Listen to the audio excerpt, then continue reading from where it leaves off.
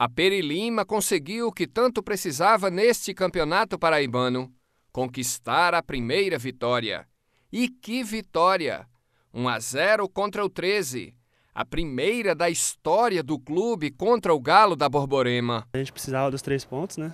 É, contra o 13 era tudo ou nada ali, ia ser um divisor de águas pra gente.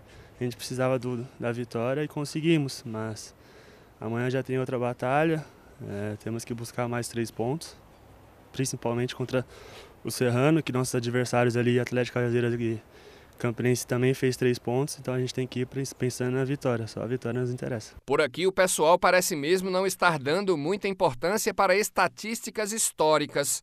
A Águia de Campina está pensando mesmo é no futuro. E nele está o Grêmio Serrano, adversário desta quinta rodada. Temos que encarar da mesma forma que encaramos contra o 13, né? Não, nesse campeonato, para mim, não tem jogos fáceis.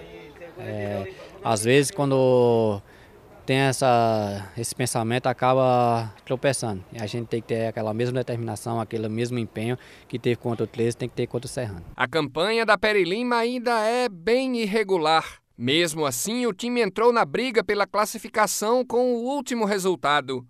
Vencendo o Lobo da Serra, iguala em número de pontos com o Campinense. Tudo bem que ficará com um jogo a mais até o encerramento da quinta rodada. Campinense está com 7, Atlético foi a 9.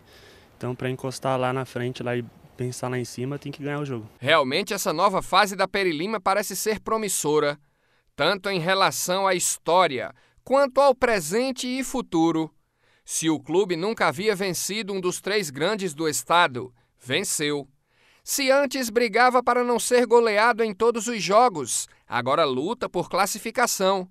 É tentar vencer o Serrano, para confirmar ainda mais esse ressurgimento. Ganhamos esse jogo aí, com certeza deu um ânimo a mais à equipe, era isso que estava faltando. Espero agora, durante o restante do, dos jogos aí, ter essa mesma determinação, essa mesma pegada, para poder conseguir os objetivos que são as vitórias.